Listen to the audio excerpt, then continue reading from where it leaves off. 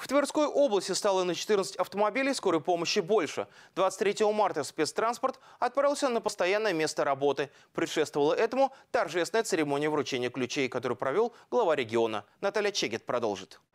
Новый автомобиль «Газель Next» уже готов к работе. Машина отправится в Калязинскую ЦРБ. «Газель» относится к классу «Б», а значит оснащена всем необходимым медицинским оборудованием для оказания экстренной и неотложной помощи. Машина, конечно, крайне необходима для скорой помощи. Она будет использоваться только на скорой помощи, как э, для внутрирайонных, так и для транспортировок пациентов в межрайонные центры.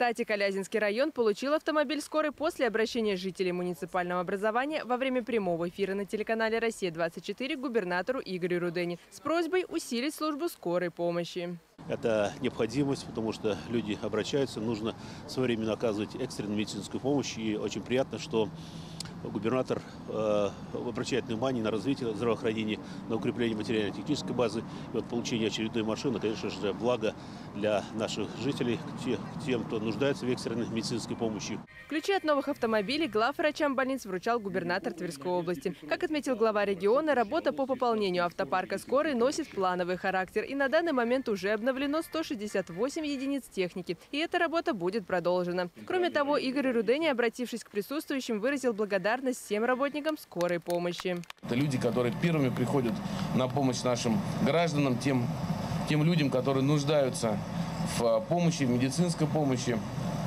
в поддержке.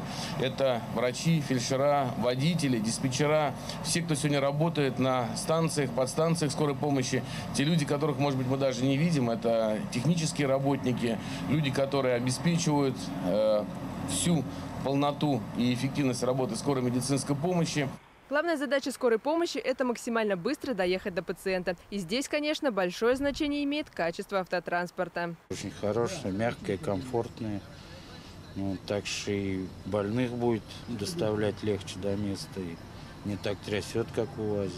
Еще три санитарные машины «Лада Ларгус» выделены Твери, одна Кимром. В регионе планируется и дальше обновлять автопарк службы скорой помощи в районах. В общей сложности в ближайшие пять лет предусмотрена поставка 93 машин. А ведь это не просто техника. Каждая машина на, э, начинена современным медицинским оборудованием.